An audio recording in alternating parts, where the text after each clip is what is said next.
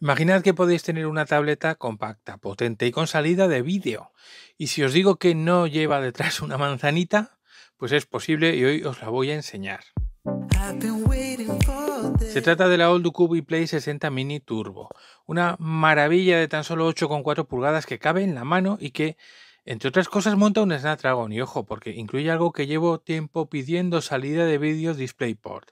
Esta enana lo tiene todo y ojo porque además está por debajo de los 190 euros. ¿Y sabías otra cosa? ¿Sabías que cuando monto un PC por mi cuenta o una máquina virtual compro licencias de Windows OEM por muy poco dinero y lo hago en cdkoffer.com? Una licencia de Microsoft cuesta unos 180 euros, pero en cdkoffer.com la puedes tener por unos 15 euros con el código TQ20. Y es que las licencias Quedan anotadas a tu disco duro y procesador, pero a cambio apenas cuestan dinero. Ahora con el código TQ20 puedo montar Windows 10 virtualizado en mi NAS y conectarme desde esta tableta y tener un ordenador completo en remoto. Increíble. Os dejo enlace y cupón en la descripción. La construcción de la tableta es muy sólida, contando con un chasis de metal que no presenta flexiones ni crujidos al presionarlo. Son concretamente 202 por 126 por 7,9 milímetros nada más de grosor. Su diseño compacto y ligero, 323 gramos, permite sostenerla con una sola mano durante largos periodos sin cansarnos y lo notaremos a la hora de leer o jugar con ella. Tenemos altavoces tanto arriba como abajo, si bien su posición no es especialmente simétrica. El puerto USB-C está ubicado arriba, a diferencia de la mayoría de tabletas donde está abajo, y los botones en un lateral. Eh, en el opuesto al de la micro SD. Estos botones son bastante sólidos y no bailan. Entre sus especificaciones tenemos 8,4 pulgadas de panel, IPS, un Snapdragon 6 Gen 1, 8 GB de LPDDR5, 128 GB de UFS 3.1, Android 14, USB 3.1 y una batería de 5500 mAh. El contenido del paquete incluye un cargador de muy poca potencia, cable y herramienta para la bahía de microSD.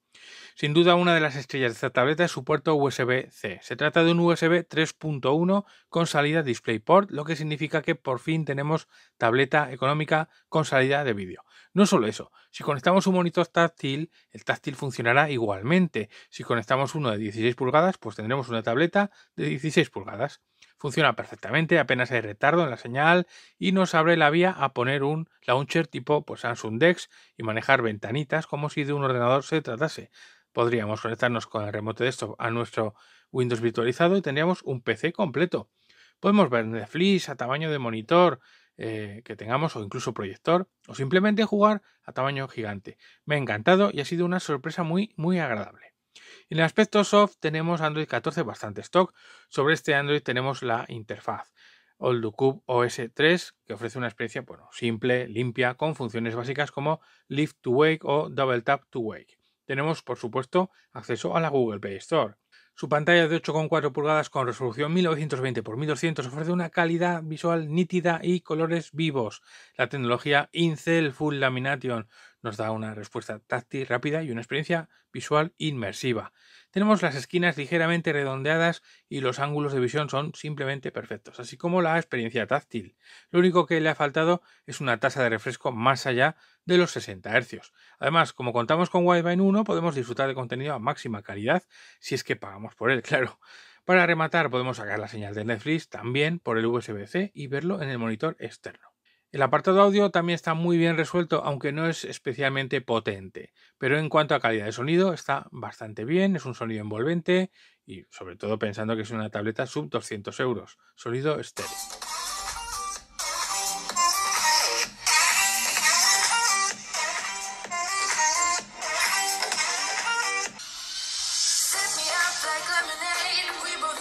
El corazón de esta tableta es un procesador Snapdragon 6 Gen 1 que ofrece un rendimiento notablemente superior al MediaTek G99. Este procesador combinado con los 8 GB de RAM, que además permite usar 8 más adicionales pero virtualizados, proporciona pues, una experiencia muy fluida en la mayoría de tareas, bueno, en todas, desde la navegación web hasta la multitarea, los juegos, todo se carga con rapidez y las páginas web se mueven con mucha soltura.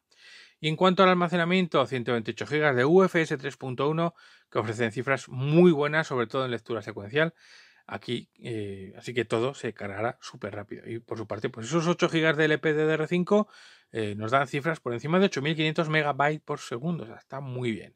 En benchmarks tenemos muy buenas cifras, empezando por Geekbench con sus 2.884 puntos en multinúcleo y casi 1.000 en un, en un solo núcleo, y Antutu superando el medio millón de puntos holgadamente. La fluidez se ve reflejada también en juegos como Genghis Impact, donde se puede jugar con una calidad gráfica eh, tope, la máxima que permite y sin saltos está muy bien. Y en el Call of Duty al máximo que permite, que es muy alta, va muy fluido y además la experiencia es muy buena al poder sujetar la tableta con las dos manos sin cansarnos por su peso. Es como jugar con un móvil muy grande.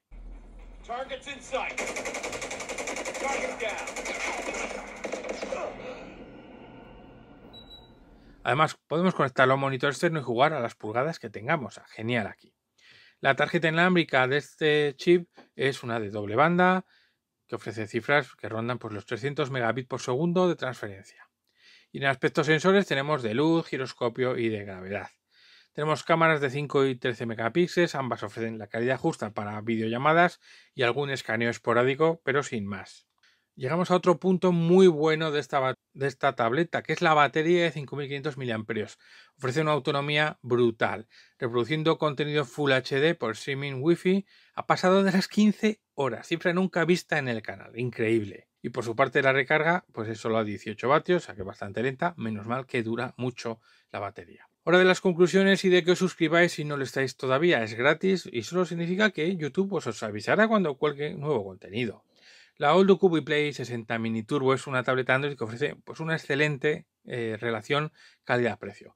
Destaca por su potente rendimiento, el Snapdragon vuela literalmente, está muy bien diseñada y construida en aleación, una pantalla de muy buena calidad y una autonomía de batería extraordinaria. Si bien tiene pues algunos puntos débiles como que la pantalla pues mantiene los 60 Hz de refresco, no tenemos lector de huellas, bueno, pero aparte de eso, creo que los pros superan muchísimo a esas eh, carencias.